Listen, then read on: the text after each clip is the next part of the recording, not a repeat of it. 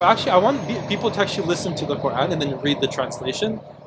That would be really good. Because uh, just by listening to the Quran, see, as I said, like the, the Quran is a kalam of Allah subhanahu wa ta'ala, and the and the and the miracle of the Quran is in its Arabic language, That's right. Yeah. right? So that's the reason when uh, if you read the Sirah, the Prophet sallallahu alaihi wasallam, when he recited the Quran, the Surah An-Najm, in front of the people of Makkah before the Hijrah, Yeah. The mushrik of Makkah, all of them together, they prostrated in sujood Oh wow. without even realizing that what they are doing. I see. And then after that, they all of a sudden woke up and they were like, "What have we just done?" yeah. I see. I never heard about that. Oh, that's that's in the Sirah. Yeah, yeah. Prophet ﷺ recited Surah An-Najm for them, and then they all mushriks of Makkah. They, the the moment the, it was so mesmerizing to them that they all fell in prostration to Allah Subhanahu wa Taala. Mm-hmm. I think that the the recitation, the Quran, was the, the, the thing that annoyed some of them the most. Like when they listened, they couldn't bear. Abu Jahl, uh, this was this was the thing with Abu Jahl, right? Abu Jahl when he, you know, uh, bribed somebody to, uh, you know, to kill Prophet Sallallahu you know, Sallallahu Alaihi Wasallam.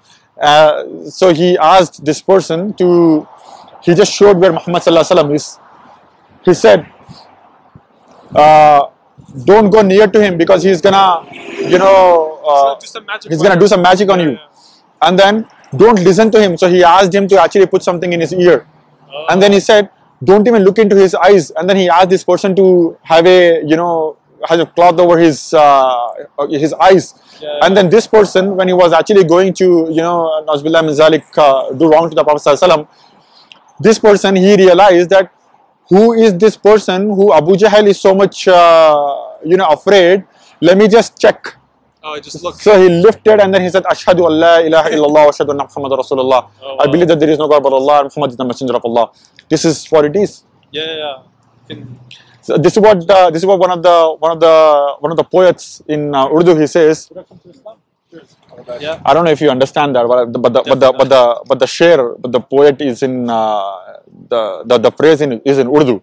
If I translate that, it's gonna lose its essence. Yeah, yeah. That's how. That's usually how it is. You know, he says, वो he says वो बिजली का कड़का था वो बिजली the thunder you know Yeah. वो बिजली का कड़का था या सौते हादी Okay.